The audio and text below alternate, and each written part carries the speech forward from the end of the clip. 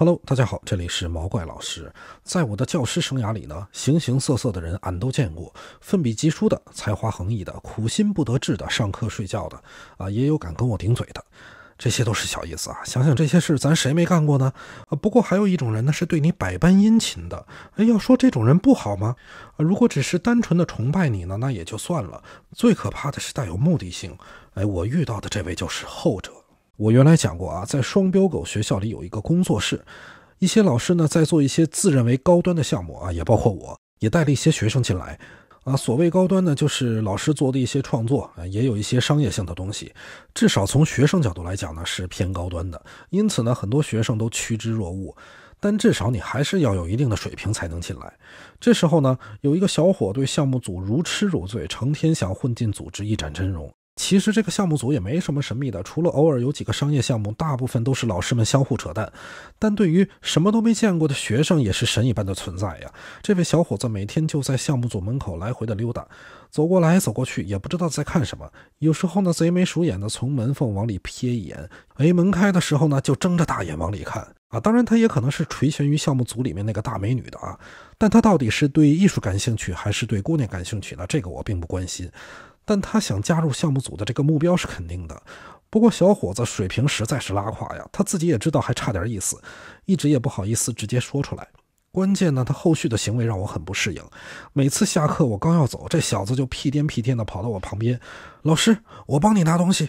呃，我说不用，我有手。他说没事，老师我帮你拿吧。哎，你是不是要去项目组啊？我帮你带过去。啊，还有电脑。我看这小子这么殷勤，就说好吧。到了项目组呢，他一溜烟的把东西给我摆好，哎，比我还快。然后呢，我还没坐下来呢，后边椅子已经给我摆好了。然后呢，用袖子掸掸上面的灰。老师，请坐。我这儿还没反应过来呢，刚把包从自己身上拽下来，小伙子一把接过去给挂墙上了。回过身拿过我的水杯，哗啦一下子给我接了一杯水。哎，冷水热水混在一起。老师，别烫着你，也别凉着你，这是温水。老师，请喝水。我刚一坐下来，站在我身后给我捶背，哎，这一顿操作让我起了一身鸡皮疙瘩。哎，后来马未都大爷在《锵锵三人行》里面的那一段描述呢，真是活生生的应了我当时的那个景啊！穿一身运动装啊，披一大衣，一进门一看，马老师来了，然后啪肩膀一抖，那大衣后面歘就有人接，然后啪就跟我说话的时候，啪手这么一姿势啊。那哥们儿扒大雪茄，腾就捅这个，这是烟关的。这吸两口啊，说这个健身，中国人都是瞎健身、瞎练。我请的美国教练，吸一口，啪一伸哈，后面的人啪就把烟拿走了，就是他手这么一呆，那烟就被另外一个 啪啪啪啪一敲，腾又塞上。那天把我给闹的呀！从那天起呢，几乎每天他都得伺候我一遍。但是人家成功人士对这种伺候应该是很受用，我这种穷命的市井小民哪享受得起这种折磨呀？最后我实在受不了每天的这样的折磨，我还是让他参与了项目组的一些制作。比起拖项目组的后腿，我还是想多活几年。另外一位大神呢，是我曾经宇宙牛逼学院的同级生。这位大仙自从步入牛逼学院的那一刻，就削尖了脑袋想往团委会里钻。这一看就是胸怀大志啊！年纪轻轻就已经一心想好了要走仕途之路，舔着老脸也要在团支部里当个一官半职。讲话的时候官腔十足，哎，要不说咱们组织里人才济济呢？哎，他跟那个武道杠长得还挺连相啊。当然这是他个人的选择，也无可厚非。但是呢，一次羽毛球比赛让这货的嘴脸在众人面前体现的淋漓尽致啊！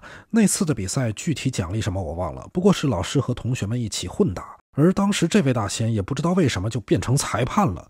呃，裁判什么样大家都见过啊，站在网子旁边喊比赛开始，然后呢报哪一方得了几分，出个界啥的，最后判一个 S 方赢了或者 B 方赢了不就行了吗？而他呢，在学生们之间比赛报分的时候还挺正常的。蓝方四分，红方六分，蓝方九分，红方获胜。哎，大概就这意思吧。不过呢，后来有一场主持老师和一个学生的比赛时，他就有点不对劲了。这位老师呢，是团委会里的一个老师。裁判一看，哟，领导来了。平时板着跟砖头一样的脸立马换了，虽然他笑起来比哭还难看，但是那卑躬屈膝的神韵宛若一坨硬翔变成了一只龙虾呀！哎，如果当时那个领导放个屁，他都得赶紧一点不剩的全吸进去，生怕遗漏了一个屁分子，便宜了我们这些在座的平民老百姓。老师与学生的对战即将开始，大仙郑重地宣布：“哎，站在红方的就是我们德高望重的团委会书记刘老师。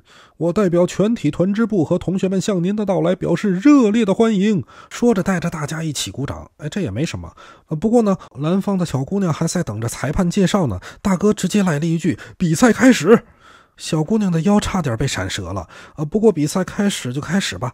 几个回合过去呢，刘老师率先拿下一分。大仙一脸谄媚猥琐的笑容面向老师，好球，红方得一分。而刘老师的境界呢，就比我高多了。人家明显对这恰到好处的恭维很受用，还微笑着点了一下头，表示回应。哎，大家都感觉哪里不太对劲。但是比赛继续，几个回合之后呢，老师的球出界了，小姑娘艰难地拿下一分。大仙又语出惊人，遗憾，蓝方一分。小姑娘盯着裁判都愣神了，她也没见过有裁判这么报分的。咋地？我辛苦拿下一分是我错了，我就活该不应该得分。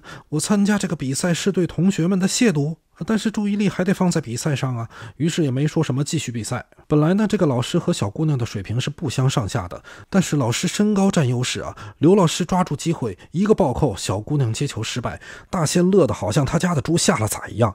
好球，漂亮！刘老师又得一分。